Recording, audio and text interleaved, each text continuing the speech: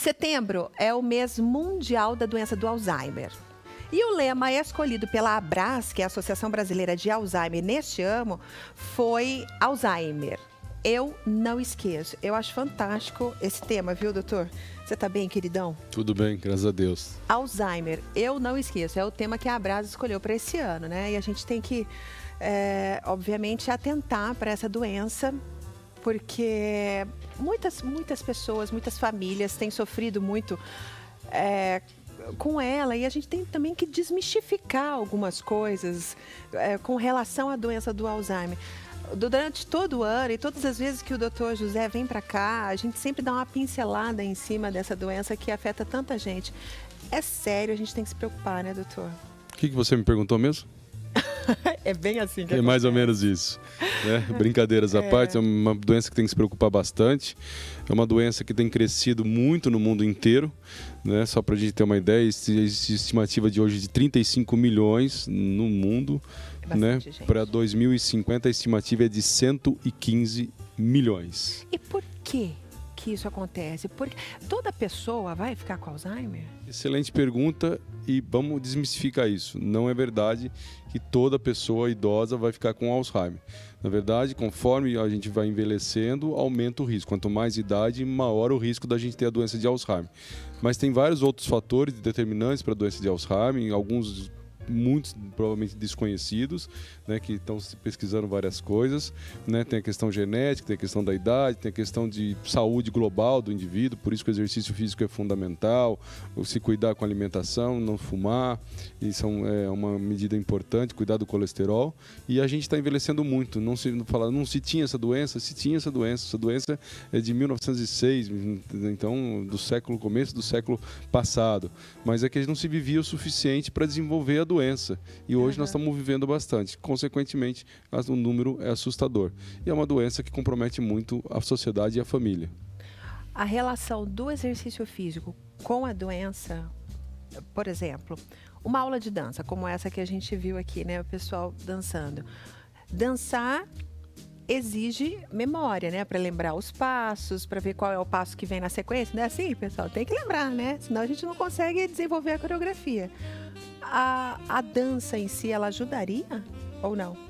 Ajudaria como exercício físico, mas um, um, paciente com Alzheimer ele tem dificuldade de aprender caso coisas novas, porque como eu brinquei no começo aqui da nossa conversa, ele esquece o recente, então ele tem dificuldade de assimilar as, as coisas novas. Então ele vai conseguir dançar porque ele aprendeu os passos lá de uma dança antiga, uhum. de, um, de um ritmo antigo, então isso ele lembraria.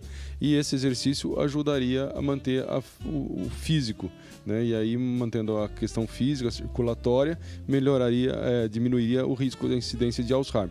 Para um paciente com Alzheimer, também tem a parte lúdica do, da, da, dança, uhum. né? não só a parte de exercício físico, mas tem a parte lúdica, que isso é muito importante. Até mesmo animais de estimação, sabe-se que melhora o paciente com Alzheimer, por quê? Porque ele tem uma questão de carinho, de dedicação àquele bichinho, né? e vice-versa, o, o, carinho do bichinho para com a pessoa. Então isso é, é interessante.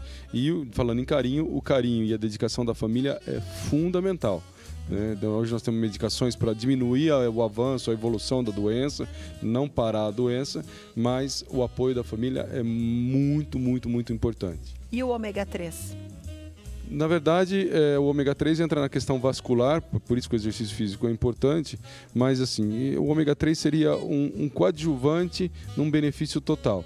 Então, se a gente já faz tudo direitinho, o ômega 3 poderia ser uma vantagem, mas principalmente o ômega 3 de dieta, não o ômega 3 suplemento, né, como o salmão, ah. que tem que é rico em, em ômega 3. ômega 3. É, aí já o benefício já, já se perde. Uhum. Mas para o Alzheimer em si, ele é bom para a questão vascular. Para o Alzheimer em si, não é tão determinante. Entendi. Se o pai ou a mãe tem, o filho vai ter Alzheimer? Excelente pergunta de novo. Vamos desmistificar. então, na verdade, não é porque meu pai tem ou minha mãe tem que eu vou ter, tá certo? Existem dois cara, tipos de, de herança, uma herança chamada familiar e a outra esporádica. Então a maioria é esporádica, não é porque meu pai e minha mãe têm que eu vou ter. Então as gerações seguintes podem passar sem ter alguém. Existem algumas famílias que o caráter genético é muito marcante, uhum. que é o, a, a, a, transmissão é, genética familiar mais forte. Então, isso não é a maioria, porque senão nós estaríamos muito complicado. Qual seria então a recomendação geral para as pessoas que têm medo de ter a doença do Alzheimer e também para as pessoas que já estão com essa doença? Bom, recomendação número um é aquela receita de bolo cuide-se, né? Como saúde global. Então é não fumar, fazer exercício físico, comer direito, fazer visita ao médico regularmente. Um segundo dica que eu gostaria de dar é não atribua que esquecimento é normal para a idade. Esquecimento não é normal para a idade. A gente pode ficar um pouco mais esquecido que quando mais jovem, mas esquecimento não é normal para a idade, principalmente esquecimento para fatos recentes.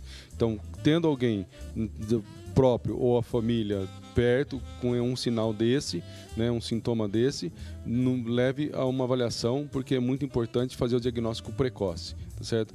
E para a família como um todo e para o paciente, vamos aderir ao tratamento, vamos fazer o tratamento e vamos buscar o apoio e a, o cuidado necessário para esse paciente. Tá, fica a dica. Obrigada, doutor. Uma ótima semana. Até a semana Obrigada. que vem. Até.